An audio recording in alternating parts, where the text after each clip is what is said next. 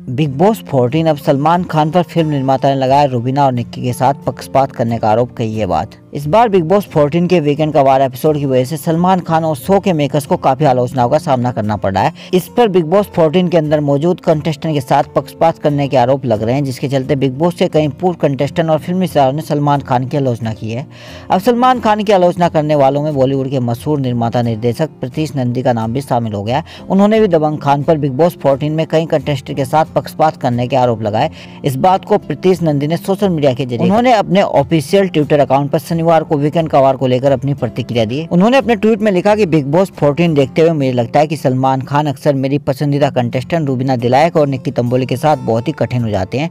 ये दर्शकों और सलमान खान के बहुत से भक्तों को प्रभावित करेगा। सलमान कोई गलत फहमी ना पाले। सोशल मीडिया पर प्रीतीश नंदी का ट्वीट तेज़ी से वायरल हो रहा है। सलमान खान के फैंस और तमाम सोशल मीडिया यूज़र्स भी प्रीतीश नंदी के ट्वीट पर अपनी प्रतिक्रिया दे रहे हैं। गौरतलब है कि पिछले हफ़्ते बिग बॉस फोर्टीन में काफ़ी कुछ देखने को मिला। खबर अच्छी लगे तो लाइक करें और सब्सक्राइब करना ना भूलें। Thank you